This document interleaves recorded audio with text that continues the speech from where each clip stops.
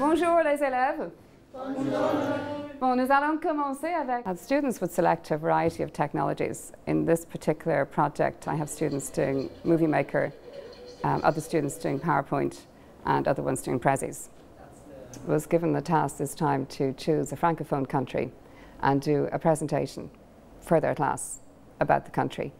So they had to keep in mind their, their audience is going to be their classmates and present the country. And I asked them to particularly um, consider the visual impact of their presentation. So not so many words, lots of pictures, videos. Uh, the students really enjoy doing this. They get to stand at the top of the classroom and show their own presentation, answer questions about it.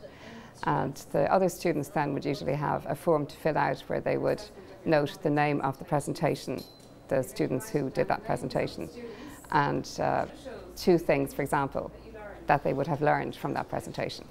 And then they would also grade it in terms of style and content.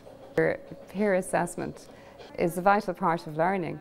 And afterwards, when you go to, to work, um, in, in the world of work, that's what happens. You work collaboratively and you have peer assessment. You don't get tested three times a year, really. Um, it represents the real world more. Um, Prezi is um, a little bit like a very cool and jazzed up version of PowerPoint.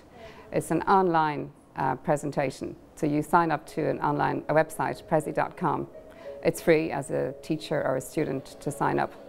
And um, it's a, a, presentation that pans across a large plane.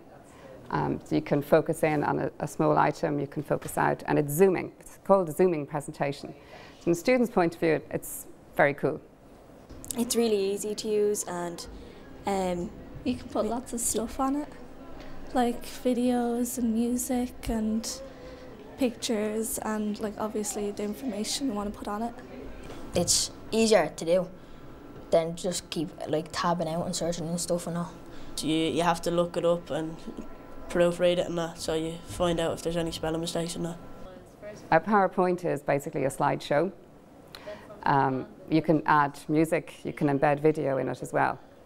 And um, the other one was Movie Maker, which is on the computers here in school. It's free with most recent versions of Windows, and it's basically a movie. Using ICT is fabulous for differentiation in the classroom, and our junior cycle classes are mostly mixed ability, like most schools. And by using ICT, the students can work at their own pace. They can work in groups. It's very, very suitable for group work and collaborative work. The learning is much more independent.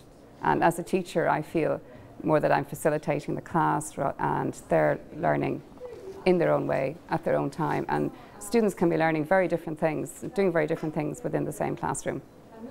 Students in secondary school now are what we call digital natives, and they have grown up in the digital age. Um, if you like, we're learning it as a second language sometimes, people of my generation. And if, but if we don't embrace that technology and we don't make school relevant to the students, they see stu a school as old-fashioned and not relevant and boring and slow, and it doesn't engage them. And we cannot have 21st century students in a 19th century classroom.